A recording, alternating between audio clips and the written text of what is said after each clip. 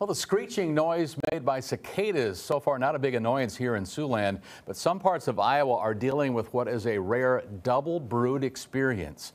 It only happens once every 221 years, the last time being 1803. That's when a 13-year brood of the insect and a 17-year brood emerge from the ground at the same time, specifically when the ground reaches 64 degrees. Experts say that the number of cicadas could range from 50,000 to a million and a half per acre. And some areas in Iowa could see millions just in time for mating season.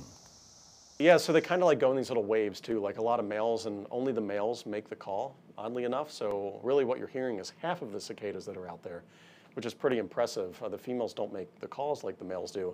Uh, but yeah, you'll hear them come in waves. It'll like quiet down for a couple of seconds, and then all of a sudden it's another huge wave of noise something there to be thankful for, I think.